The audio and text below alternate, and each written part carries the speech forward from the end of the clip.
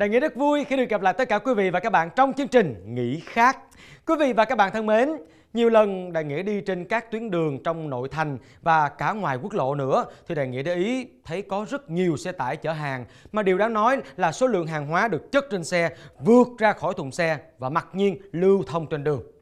Điều này gây khó chịu cho những người cùng tham gia giao thông như là bị che khuất tầm nhìn nè, hoặc là hàng hóa trên xe có thể rơi trúng người tham gia giao thông bất cứ lúc nào. Xe chở quá tải trọng quy định đã và đang trở thành vấn nạn của giao thông Việt Nam. Và ngay bây giờ, mời quý vị và các bạn hãy cùng theo dõi một số hình ảnh xe chở quá tải trọng mà chương trình Nghĩ Khác đã ghi lại được. Chúng ta đang quan sát hình ảnh ở một giao lộ nơi có rất nhiều xe container di chuyển trên đường và theo chúng tôi được biết thì những xe công tơ này đều vượt quá tải trọng quy định cho phép và mặt đường đã bị những chiếc xe này hàng ngày băm nát, có rất nhiều những ổ voi, ổ gà đã xuất hiện trên đường bởi những chuyến xe này đi ngang qua.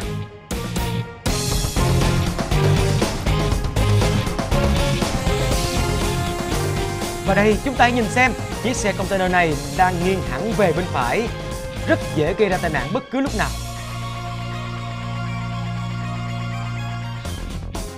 Xe chở hàng quá khổ, quá tải trọng quy định là những nguyên nhân trực tiếp làm cho kết cấu hạ tầng giao thông đường bộ xuống cấp, hư hỏng, giảm tuổi thọ nhanh chóng, giảm hiệu quả đầu tư, gây tốn kém chi phí cho ngành đường bộ trong việc sửa chữa, khắc phục hậu quả.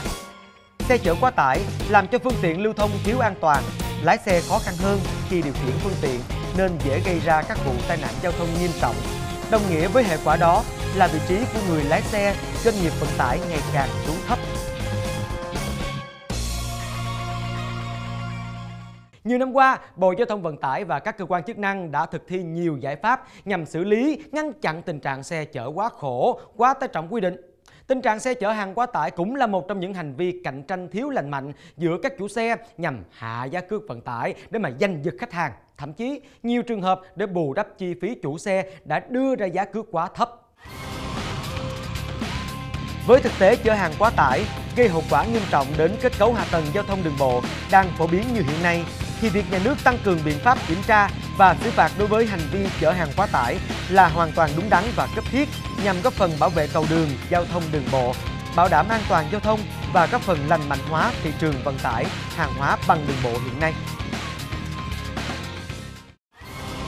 Theo Nghị định 107 trên 2014 NDCP vừa ban hành, thì hành vi chở quá tải trọng được tách ra thành hai khung phạt.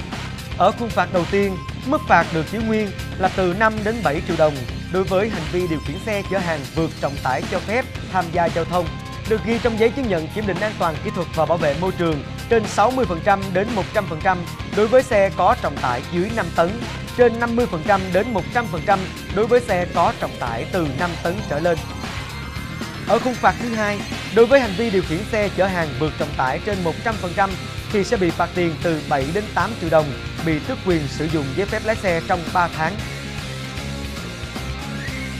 Chủ xe ô tô để người làm công, người đại diện điều khiển xe chở hàng quá tải sẽ bị phạt tiền từ 32 đến 36 triệu đồng với tổ chức và 16 đến 18 triệu đồng với cá nhân. Quý vị và các bạn thân mến, nghị định mới này của chính phủ chính thức có hiệu lực từ ngày 1 tháng 1 năm 2015. Kết thúc chương trình nghỉ khác hôm nay, chúng tôi xin được gửi đến quý vị và các bạn thông điệp từ Ủy ban An toàn Giao thông. Năm An toàn Giao thông 2015 với chủ đề siết chặt quản lý kinh doanh vận tải và kiểm soát tải trọng phương tiện. Với mục tiêu tính mạng con người là trên hết. Đại Nghĩa xin chào tạm biệt và hẹn gặp lại quý vị các bạn trong chương trình lần sau.